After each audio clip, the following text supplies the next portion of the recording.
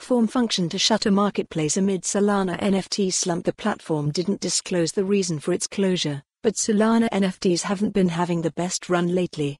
Newzone This piece of history collect this article as an NFT Formfunction, a Solana, SOL-based non-fungible token, NFT, marketplace, has announced it's closing up shop after only 13 months of operation amid a slump in Solana NFT prices and trading volumes. On March 15, Formfunction announced it is shutting down on March 29 saying it cannot continue to operate after much discussion and careful consideration. The exact reason for closing the platform was not disclosed in the announcement. Formfunction's head of community and marketing, known by their pseudonym Magellan, tweeted on March 15 that the co-founders and the team will pivot to a new direction, likely outside of the crypto and the SOL space but did not provide further details.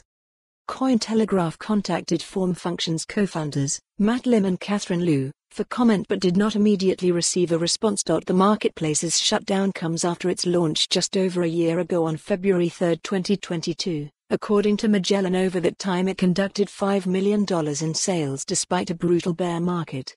Shortly after its launch the platform also raised a $4.7 million seed round in March 2022 led by venture capital, VC, firm Variant Fund and contributions from other VC firms Solana Ventures, Canonical Crypto, Pear VC, Palm Tree Crew Crypto and OpenSea Ventures. Since Formfunction's launch, the wider Solana NFT space has plummeted in terms of volume. Follow the URL for the full article. For more on this story, visit the news article link.